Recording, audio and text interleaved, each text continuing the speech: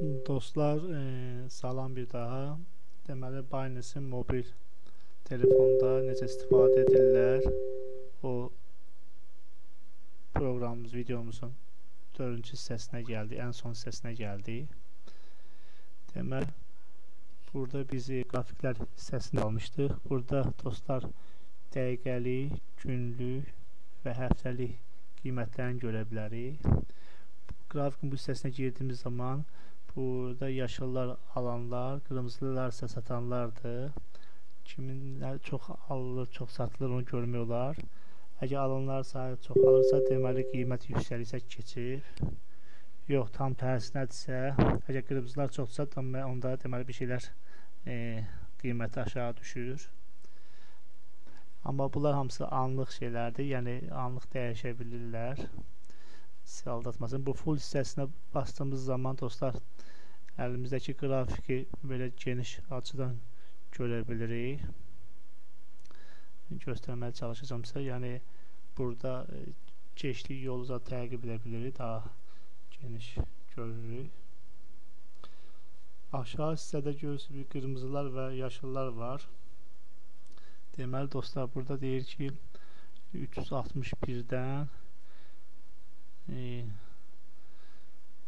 Deməli 361-də e, almaq istəyənlər var. E, 2 milyon 641 dənə 361 alanlar var. Qırmızılardan isə 362 ilə e, 1 milyon 928 min satmaq istəyən var. Onu göstərir. Yəni burada e, alanlar satanlar hansı qiymətdən anlıq görə bilirik, alıb və satmaq istədiklərini buradan təqib edə bilirik. Sonra burada market adres bölümünə gəldimizsə, dostlar, e, burada e, ən son anlıq işləmləri görürük. Deməli, bir nəfər 362-dən e, 1265 ədəd alıb saatında göstərir. İndi baxın, bir nəfər satdı artıq. Deməli 361 Satoshi-dən 6030 dənəsini satıb. Yəni bizi burdan da yəni anlıq olaraq nə satıldığını, nə alındığını görə bilirik. Dostlar, indi əlimizdəki Bitcoin-lə biz e, trader bölməsindən tron alırıq.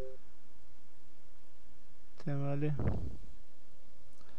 bizim əlimizdə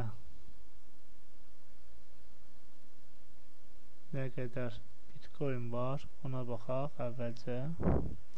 Əlimizdə 0 tam vergi 0.14 nə qədərsə Bitcoinimiz var. E, biz indi bu Bitcoin ilə Tron almaq istəyirik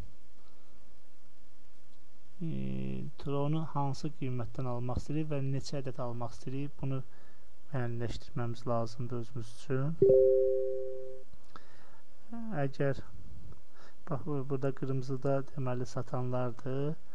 Deməli 1 milyon neçə dənəsi satılır 0 362-dən aşağıda yaşlılar alanlardır 0-dan e, deməli 2 milyon nə qədərsə satır 361-dən biz e, deyək ki qiymət girdik. Bu aşağıdakı e, alanların üstünə vurduğumuz zaman otomatik qiymət yuxarı gəlir. Amma şərt deyil biz onu əllə də yaza bilərik.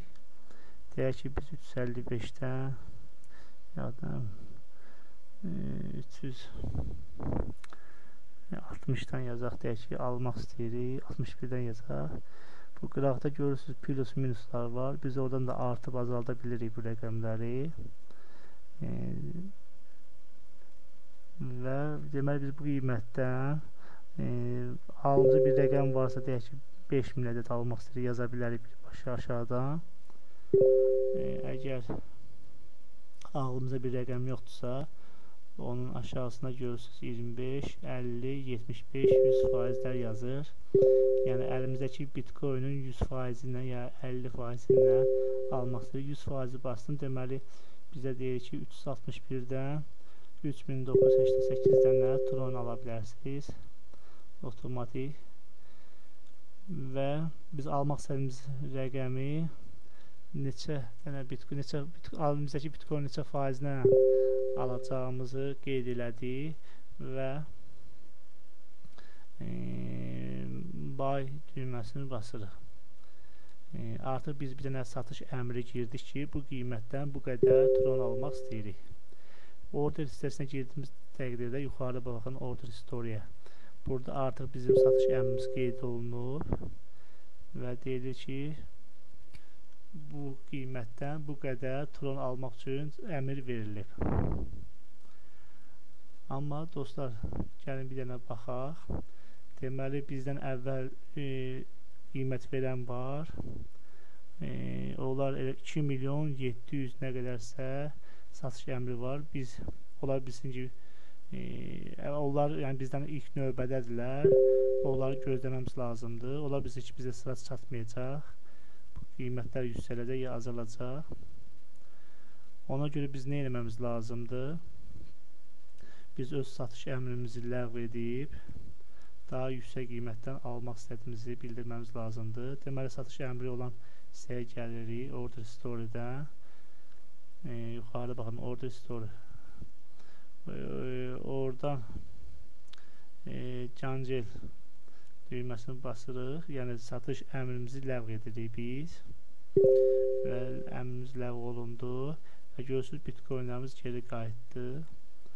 E, biz artıq e, təklif etdiyimiz qiyməti dəyişirik. Daha real olsun ki, biz satış görə bilər. 362-dən artıq biz satış əmri giririk. 362-dən gələndə görürsünüz 100% ilə girdik. Yəni bizdəki bitcoinlərin 3977 tron elədi. Həmən üstdəki düyməni vurduğumuz təqdirdə və Biden vurduq və artıq satış gerçəkləşdiririk. Və e, nə deyirəm, bunu hardan görə bilirik? Bax, baxın, bitcoinlər e, artıq trona çevrildi. Aşağıda artıq bizdə tronlar qeyd olunur. Bundan əvvəl isə e, bitcoin kimi yazılmışdır. Dostlar, yenə biz e, Open Orders-ə giririk və oradan biz e, eləmiş olduğumuz işləmlər görürük. Deməli, burada göstərilir ki, e, Ethereum-u biz Bitcoin-ə çevirdik və Bitcoin-dən də Tron aldıq 362-dən 3977 ədəd aldığımız hamısı burada qeyd olunub. Burada bir dənə e, fikir verin. Burada bu soluq hissə var. Bu bayaq bizim o satış əmri verib ləğv elədiyimiz hissədir. E, o da qeyd olunub burada. Sadəcə burada, yəni soluq göstərib, yəni bu işləm əmr verildikdən sonra ləğv olunduğu mənasına gəlir. Dostlar, yenə bizi səhifəmizdə bu funks bölməsinə gəlirik və orada göstərilir ki, bizim nə qədər qoyunumuz var. Deməli, yuxarıda BTC olaraq göstərilir aşağıda da göstərir ki bizim 3973 dənə tronumuz var. Yuxarıda isə dollar olaraq neçə elədiyi və ümumi olaraq bitcoin qiyməti nə qədərdir o qeyd olunub. Burada bizim 1-2 dollarlıq e, tək Ethereum və bitcoinlərimiz qalıb. Onları isə biz Binance-in coinlərinə çevirmək istəyirik. Onu necə çeviririk, onu izah edeyim sizə. Dostlar, baxın, e, ən yuxarıda, solda belə qəpik işarətləri var. Biz ora vurdığımız zaman benim, benim coinləri ala bilirik, o xırda quruşlarla.